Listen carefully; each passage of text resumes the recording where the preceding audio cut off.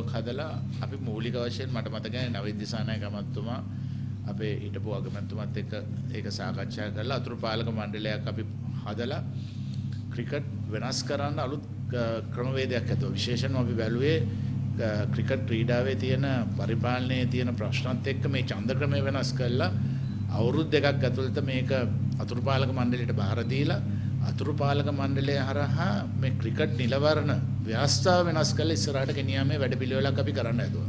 අවාසනාවකට වගේ ජාතික ආණ්ඩුව හදිස්සි වෙලේ ඒ ආපෝ අමාත්‍යවරු ගම්ම බැලුවේ මේ ප්‍රජාතන්ත්‍රවාදය කියන වචනේ ක්‍රිකට් ක්‍රීඩාවට සුදුසු වචනයක් නෙමෙයි. මොකද මේ ඡන්ද ක්‍රමය හැමදාම එක මුදලාලි කකලා කට්ටියක් එක්කහුව වෙලා ඒගොල්ලන්ගේ නියෝජිතයෝ ටික හදාගෙන ක්‍රීඩා සමාජ තියනවා ක්‍රිකට් ගහන්නේ නැති ග්‍රවුන්ඩ් එකක් නැති ඒගොල්ලන් හදාගෙන 147ක් ඡන්ද තියෙන මේ නිලවරණය වෙනස් කරන්නේ නැතුව කවදාවත් ක්‍රිකට් හදන්න බෑ. අනිත් එක මේ ඉන්න නිලධාරීන් තමයි 2015 ඉඳලා තාමත් මේ ඉදිරියට එන ඡන්දෙත් ඉල්ලන්නේ මේගොල්ලෝ. මේගොල්ලන්ට කිසිම ලැජ්ජාවක් නැහැ.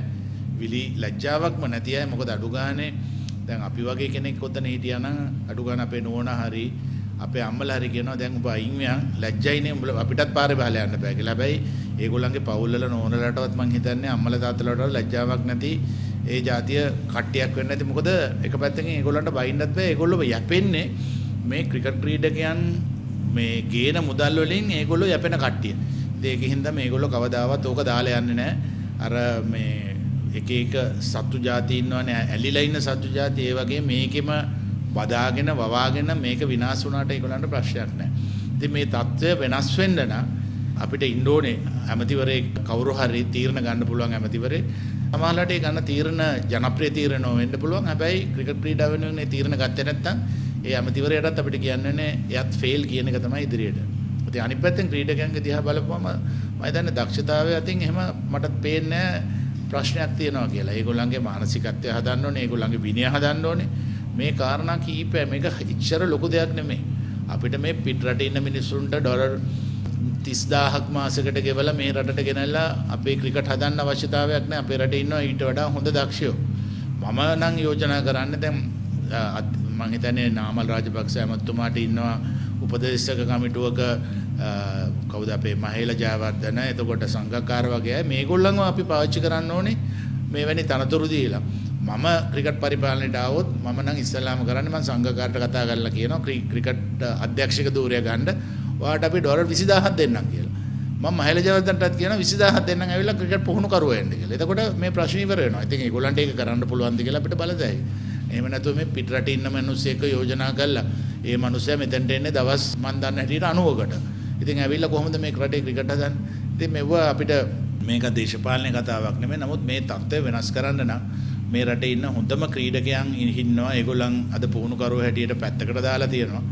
මේ ක්‍රියාදාමය වෙනස් වෙන්න ඕනේ. අපි දැක්ක පහුගිය කාලේ චමින්ද වාස්ට වෙච්ච ප්‍රශ්නේ. මම කියන්නේ නැහැ චමින්ද වාස් ඒ ගත්ත තීරණය හරි කියලා මීට වඩා ඇත්තටම චමින්ද වාස් ක්‍රීඩකයෙක් හැටියට මේ රට විශාල ගෞරවයක් දීපු ක්‍රීඩකයෙක් ඉතාමත් හොඳ පුහුණුකරුවෙක්. නමුත් චමින්ද වාස්ට පොඩි මුදලක් වැඩි කරන්නේ නැතුව පිටරට ඉන්න කොහෙද යන කිසිම දෙයක් කරපු නැති මිනිස්සුන්ව ගෙනල්ලා මෙහෙ දානවා. දාලා ඒගොල්ලන්ගේ මේක කරන්න හදන. ඉතින් මම හිතන්නේ මේක හරි දෙයක් නෙමෙයි. ඉතින් අපි තව ටික කාලයක් කොහොම යන්න දීලා බලමු ක්‍රිකට් වලට මොකද වෙන්නේ කියලා. මම දකිනවා නාමල් රාජපක්ෂ මහත්මයා කියනවා කාලේ ඕනේ කියලා. හැබැයි ඉතින් කාලේ දෙන්න ඕනේ තමයි. හැබැයි මේ කාලේ දෙනකොට මේ පරිපාලනය තමයි අවුරුදු 6ක් මේ ක්‍රිකට් විනාශ කරලා කාලේ කාපු අය. ඉතින් ඒගොල්ලොත් එක්කම නම් දිගටම යන්නේ. එතුමාගේ අපි බලන් ඉන්නවා කොහොමද යන්නේ හැටි කියලා. ඉතින් අපි ඉස්සරහට මෙව ගැන අපි ප්‍රසිද්ධියේ තීරණය කරනවා. මොකද අපි දැකපු දෙයක් තමයි අපේ ආණ්ඩුව ආපු වෙලෙත් අපි ක්‍රිකට් හොරුන් අල්ලන්න ගියා. හැබැයි ක්‍රිකට් හොරු අපේ සමහර ඇමතිවරුන් ඇල්ලුවා. ඉතින් ඒක රට ආණ්ඩුවටත් වෙච්ච දෙයක්, ක්‍රීඩාවටත් වෙච්ච දෙයක්. ඉතින් මේක වෙනස් කරන්න නම්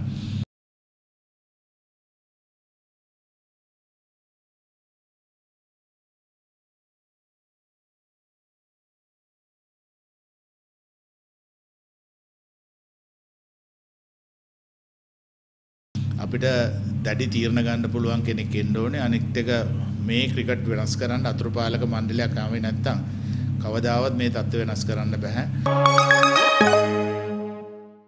මෙවැනි උණුසුම් පුවත් වීඩියෝ කාටත් කලින් දෙනපතා දැනගන්න බෙල් සලකුණ ඔබා SL බ්‍රේකින් සබස්ක්‍රයිබ් කරන්න.